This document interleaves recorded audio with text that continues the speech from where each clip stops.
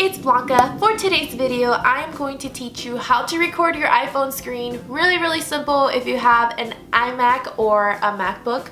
So you do have to have one of those two items. And if this is the first video you've seen of mine, don't forget to subscribe for more videos. I am going to record a what's on my iPhone 7 video next. So I really wanted to do this video because I wanted to know how to do this and yesterday I was messing around and just by going on Google and finding out how to do this, I figured it out. I know I did it before but I couldn't remember to save my life how to record my iPhone screen. So I had to reteach it to myself and figured it out. And it's so, so simple. Once I figured it out, I was like, okay, yeah, that, that's right. That's what I did last time. I'll show you guys how to do that. Let's get into this video.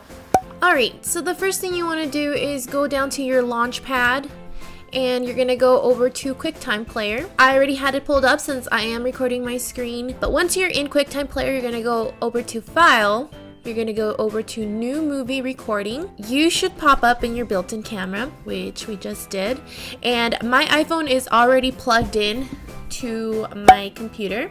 So you want to make sure your phone is plugged in. Next, we're to go down to this arrow right here. Under camera, your phone should be listed under there. Right now we're under FaceTime HD camera. You're gonna wanna click on your phone and your phone screen should pop up.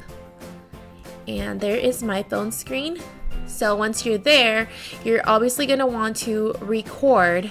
So you're gonna wanna click this. I'm already recording since I am recording my screen, but that is pretty much it.